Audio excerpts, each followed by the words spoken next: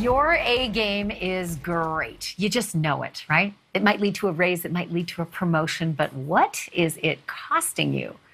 That's the life changing question behind the concept of quiet quitting or trading your A game for your B game, or maybe B minus. Joining us now is Ranjay Gulati, a professor of business administration at Harvard Business School and the author of Deep Purpose, the heart and soul of high performance companies.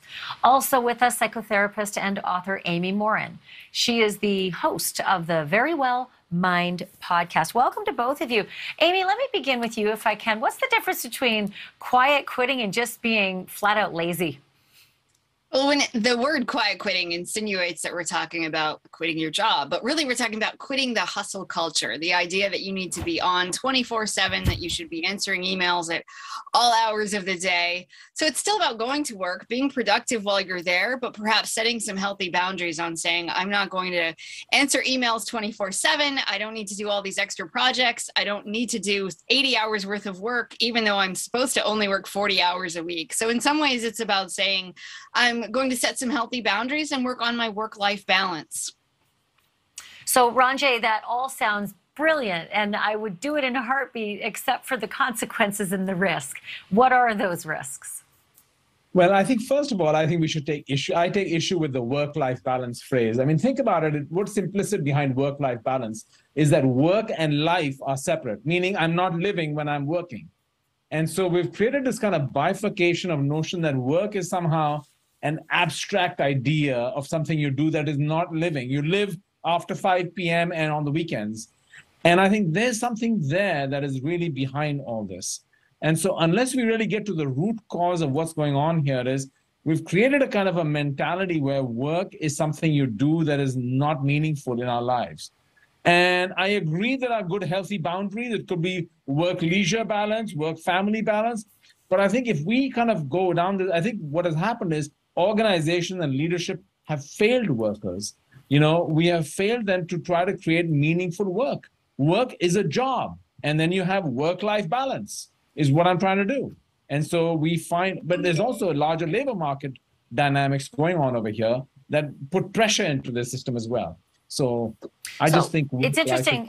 You know, that old expression when you say that the old expression love what you do and you'll never work a day in your life that's what ma- it makes me feel like if the, if companies aren't making the culture great and the job fulfilling uh, then i understand it. It just feels like torture. It just feels like work. But i want to go back to some statistics that i astounded me when i looked at my mom always said put your nose to the grindstone. But the boomers back in the 50s the average ceo made 20 times more than a median worker. Okay, that, that doesn't sound bad. But then in 1980, the figure jumped to 42 times more.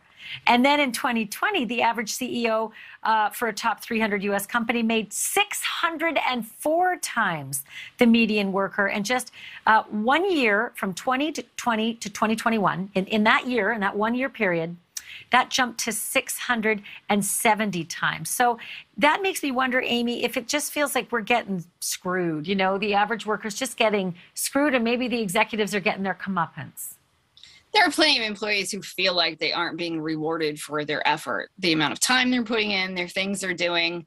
They just feel like there's not enough opportunities for advancement. And a lot of people don't feel like their job has meaning. We need to have meaning in our work to feel like there's a reason to show up. And on top of all that, a lot of employees are feeling as though they are being taken advantage of, that they aren't appreciated, and that their time isn't valued. So many people say, I have to go to so many meetings all day, and yet I sit through these long, boring meetings that I don't even need to be at, yet that's the expectation. So they're thinking, if my boss doesn't value my time at the office, why should I do it? Or why should I work extra hours to make up for all the things I have to do that maybe aren't essential to my uh, job duties? So, Ranjay, I have about 20 seconds left, but I got to ask you is it as simple as like we haven't had a, a, Christmas party or a holiday party at a company I've worked at for 30 years? Is it that or is it much more? I think it's much more. I think, you know, we think about it, we, we talked about job satisfaction for the longest time, how to make workers satisfied with wages, with benefits. We then went to engagement. How do you make them feel respected, giving them chances for advancement? That was engagement. Now we talk about inspiration and I think is we are at a moment where we have to think about workplace as a place to inspire people. And I think you look at people checking out, it is a really a testimony to our failure to really inspire people to show up to work and show up differently. Um, I think we can unlock tremendous human potential. It's really lost opportunity and lost opportunity for the people themselves as it is for all of us. That's interesting. And meanwhile, this is happening. People are saying, I'm just going to pull back. So uh, something's got to give. Uh, Ranjay Gulati, thank you. Amy Morin, thank you so much. It's good to talk to both of you. Thank you. Thank you for watching. Go to newsnationnow.com to find NewsNation on your television provider. And don't forget to click the red subscribe button below to get more of NewsNation's fact driven, unbiased coverage.